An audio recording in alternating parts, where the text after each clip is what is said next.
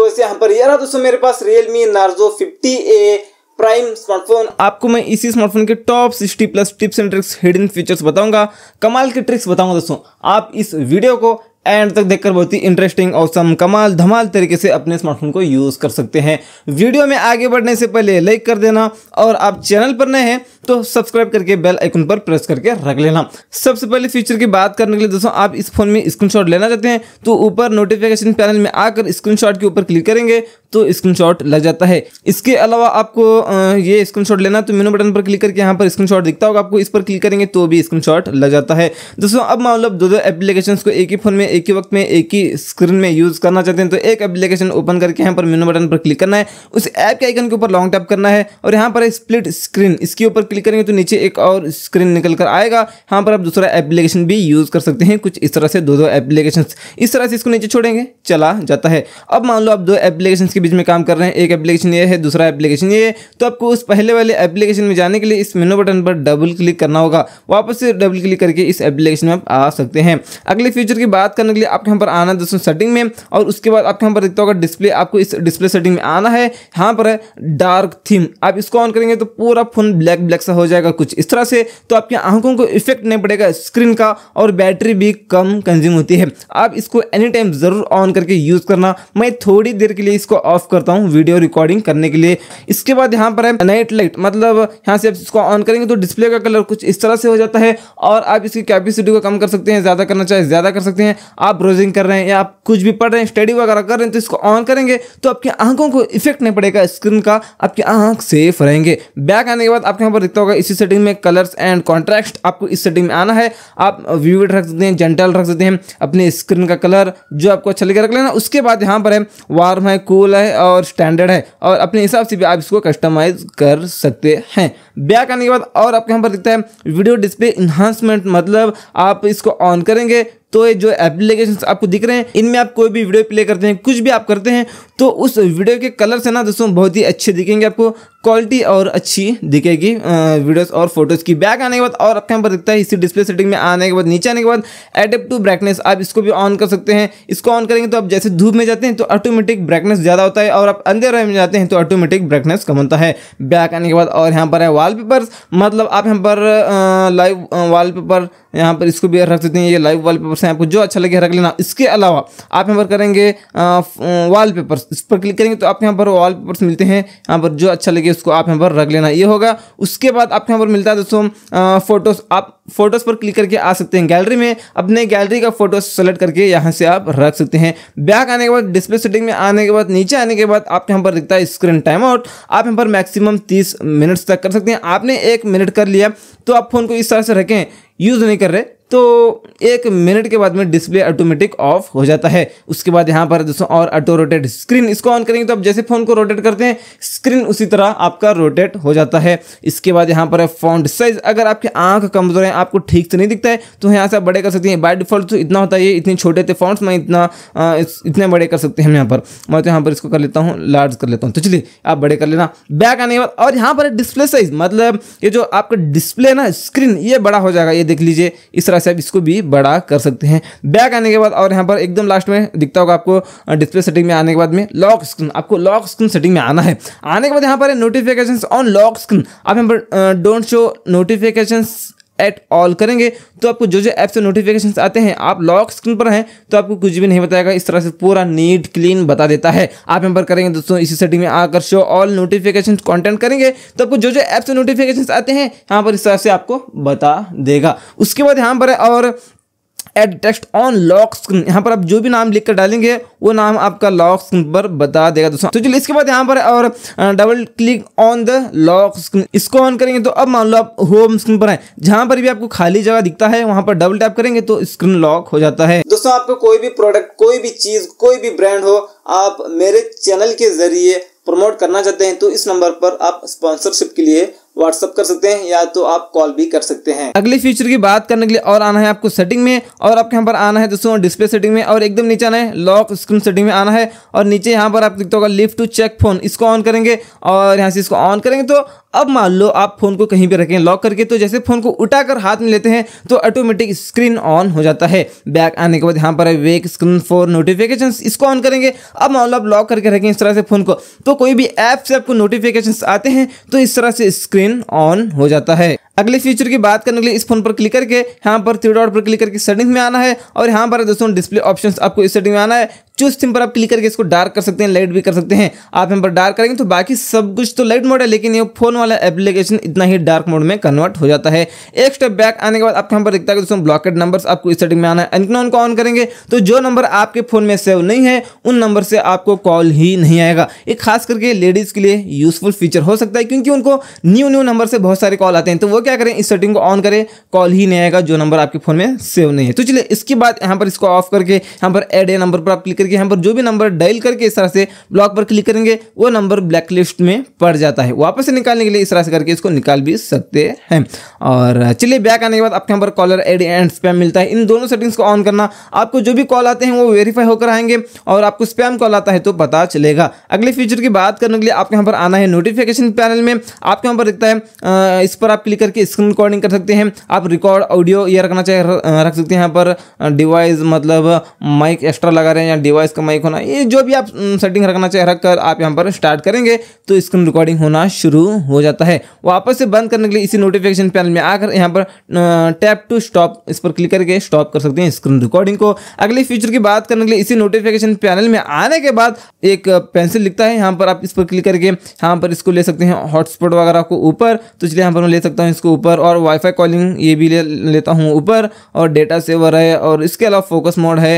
ये आप यूज़ करना चाहे, यहाँ पर जो भी आप फीचर को यूज़ करना चाहते हैं तो इसको आप यहाँ पर ऊपर ले लेना। यहाँ पर आप देख सकते हैं बेड टाइम मोड आप इसको ऑन करेंगे तो आप सोते वक्त इसको ऑन करेंगे तो आपको कॉल मैसेज कुछ भी आता है तो आपको पता ही नहीं चलेगा। आपकी आराम से नींद होगी दोस्तों। इसके बाद इसी नोटिफिकेशन पैनल में आएँगे। यहाँ पर आपको दिखता है फोकस मोड यहाँ पर आप आकर, यहाँ से आप कोई भी एप्लीकेशन के नोटिफिकेशन थोड़ी देर के लिए ब्लॉक करना चाहें तो आप यहाँ पर कर सकते हैं। एग्ज़ाम्पल यहाँ पर कर लेता हूँ मैं फेसबुक को। यहाँ पर फेसबुक को मैंने सेलेक्ट कर लिया है। टर्न ऑन ना करूँगा तो फेसबुक से कोई भी हमको नोटिफिकेशन भी नहीं आएँगे यहाँ पर, और फेसबुक में ओपन करूँगा तो ओपन भी नहीं होगा, ये देख लीजिए। अब यहाँ पर मैं इसको ऑफ़ करूँगा फोकस मोड को तो फेसबुक से हमको नोटिफिकेशन भी आएँगे भी, और फेसबुक ओपन भी होगा। अगले फीचर की बात करने के लिए आपके आना है अभी सेटिंग में, और आपके यहाँ पर दिखता है एप्स एंड नोटिफिकेशन आपको इस सेटिंग में आना है। नोटिफिकेशन सेटिंग में आना है, और यहाँ पर है नोटिफिकेशन हिस्ट्री यहाँ से इसको ऑन करेंगे तो आपको जो जो ऐप से नोटिफिकेशन आते हैं, आपने क्लियर किया तो यहाँ पर वो सेव हो जाएँगे। तो बाद में आप आकर देख सकते हैं किस किस ऐप से हमको नोटिफिकेशन आया था क्या क्या हमने क्लियर किया है, देख सकते हैं। बैक आने के बाद यहाँ पर आपको दिखता है बबल्स यहाँ से इसको ऑन करेंगे। तो जैसे आपने देखा होगा फेसबुक मैसेंजर एक बबल आता है, उसके ऊपर क्लिक करने के बाद चार्ट ओपन होता है। वापस क्लिक करने के बाद चार्ट क्लोज होता है। ऐसे आप यूज़ कर सकते हैं अदर एप्लीकेशन से जो मैसेंजर वाले होते हैं। बैक आने के बाद आपके यहाँ पर आना है और नीचे यहाँ पर दिखता होगा दोस्तों और hide silent notification in status bar आप इसको ऑन करेंगे। तो जो एप्लीकेशन के नोटिफिकेशन क्लियर करने के बाद क्लियर होते हैं, उनको कहते हैं साइलेंट नोटिफिकेशन उन एप्लीकेशन के आइकन्स यहाँ पर आपको ऊपर स्टेटस बार में नहीं बताएँगे इस सेटिंग को ऑन करने के बाद में। और यहाँ पर है दोस्तों, नीचे आने के बाद में इसी सेटिंग में notification dot on app icon इसको ऑन करेंगे। तो अब मान लो आपको कोई भी ऐप से नोटिफिकेशन आता है तो उस ऐप के ऊपर एक डॉट बताएगा। वो डॉट को देखकर आप पहचान सकते हैं इस ऐप से नोटिफिकेशन आया है बोलकर। इस तरह से सेटिंग में आने के बाद आपके यहाँ पर आना है एप्स एंड नोटिफिकेशन उसके बाद यहाँ पर सी ऑल एप्स पर हम क्लिक करेंगे तो सारे एप्लीकेशन आपके यहाँ पर दिखेंगे। कौन से ऐप से नोटिफिकेशन यहाँ पर नहीं आना चाहिए? आप हमेशा के लिए नोटिफिकेशन ब्लॉक करना चाहिए, यहाँ पर नहीं आना चाहिए। एग्ज़ाम्पल क्रोम को लेता हूँ। यहाँ पर नोटिफिकेशन पर क्लिक करता हूँ। ऑल क्रोम नोटिफिकेशन इसको ऑफ़ करूँगा तो हमको क्रोम से कोई भी नोटिफिकेशन ही नहीं आएँगे। यहाँ पर ब्लॉक कर सकते हैं। अगले फीचर की बात करने के लिए आते हैं दोस्तों और सेटिंग में। और आपके यहाँ पर दिखता है एप्स एंड नोटिफिकेशन आपको इस सेटिंग में आना है। और यहाँ पर स्क्रीन टाइम टुडे मतलब यहाँ पर स्क्रीन टाइम में आना है। यहाँ पर आज सुबह से लेकर अभी तक अपने कितने मिनट्स और कितने घंटे फ़ोन को यूज़ किया है, ये देख सकते हैं, और पूरे वीक का डेटा भी देख सकते हैं। और नीचे आकर कौन से ऐप को कितने मिनट्स और कितने घंटे यूज़ किया है, ये भी आप यहाँ पर देख सकते हैं दोस्तों। अगले फीचर की बात करने के लिए आप यहाँ पर इस नोटिफिकेशन पैनल में आना है। आप वाईफाई कॉलिंग को भी ऑन कर सकते हैं। वाईफाई से आप वीडियो कॉलिंग कर सकते हैं दोस्तों। ये हो गया, उसके बाद में आपके यहाँ पर मिलता है अभी डू नॉट डिस्टर्ब इसको ऑन करेंगे तो आपको कॉल मैसेज कुछ भी आता है तो आपको पता ही नहीं चलेगा, क्योंकि आपका फ़ोन वाइब्रेट भी नहीं होगा और रिंगटोन भी नहीं बजेगा। आप मीटिंग में वगैरह रहते हैं तो इस डू नॉट डिस्टर्ब आपको यूज़ कर सकते हैं। अगले फीचर की बात करने के लिए आना है दोस्तों आपको सेटिंग में, और आना है इस तरह से नीचे। साउंड सेटिंग में आना है, और उसके बाद वाइब्रेट फॉर कॉल्स मतलब आप यहाँ पर आकर ऑलवेज वाइब्रेट कर लेना। आपको कॉल आता है तो आपका स्मार्टफ़ोन वाइब्रेट भी होगा। बैक आते हैं, इसी साउंड सेटिंग में नीचे आते हैं, और यहाँ पर ये जो सारे साउंड है ना, सबको ऑफ़ करना है। सबको ऑफ़ करेंगे तो आपके फ़ोन की बैटरी बैकअप ज़्यादा देगी। कैसे आपको मैं बताऊँगा। आप इन सारी सेटिंग्स को ऑन करेंगे तो डायल पैड में डायल करते हो लॉक करने के बाद अनलॉक करने के टच करने के बाद बार बार स्पीकर से साउंड आता है, वहाँ से एक्स्ट्रा बैटरी कंज्यूम होती है। आप इन सारी सेटिंग्स को ऑफ़ करेंगे तो बार बार स्पीकर ऑन नहीं होगा और वहाँ से एक्स्ट्रा बैटरी कंज्यूम नहीं होगी। इसके बाद यहाँ पर back button home button menu button पर क्लिक करने के बाद आपका स्मार्टफ़ोन वाइब्रेट होना चाहिए तो टच वाइब्रेशन को ऑन कर सकते हैं। अगर मैं कहूँ तो इसको भी ऑफ़ कर लेना दोस्तों क्योंकि वाइब्रेट मशीन बार बार ऑन होगी बटन पर क्लिक करने के बाद तो भी बैटरी थोड़ा ज़्यादा कंज्यूम होती है। अगले फीचर की बात करने के लिए आना दोस्तों, और आपके यहाँ पर सेटिंग में, और आना है इस तरह से नीचे। यहाँ पर स्मार्ट कंट्रोल्स में आपको आना है, और यहाँ पर स्मार्ट वेक में इसमें आना है। अब मान लो आप लॉक करके रखें फ़ोन को, आप डबल टैप करेंगे स्क्रीन पर तो इस तरह से स्क्रीन ऑन हो जाता है। उसके बाद यहाँ पर दोस्तों स्मार्ट मोशन आपको इस सेटिंग में आना है, यहाँ से इसको ऑन कर लेना है। ईजी आंसर इसको ऑन करेंगे तो अब मान लो आपको कॉल आता है। तो जैसे कान के पास लेकर जाते हैं आप फ़ोन को तो ऑटोमेटिक कॉल रिसीव हो जाता है। उसके बाद यहाँ पर इजी बेल इसको भी ऑन कर सकते हैं। आप इसको भी यूज़ कर लेना दोस्तों। उसके बाद यहाँ पर कमाल का फीचर है म्यूट इनकमिंग कॉल्स इसको ऑन कर लेना। अब मान लो आपको कॉल आता है तो आप फ्लिप करेंगे फ़ोन को तो रिंगटोन बजना बंद हो जाएगा, लेकिन कॉल तो आता ही रहेगा। और उसके बाद आते हैं दोस्तों, और बैग आपके यहाँ पर मिलता है पॉकेट मोड, ये कमाल का फीचर है, जैसे यहाँ पर इसको ऑन करेंगे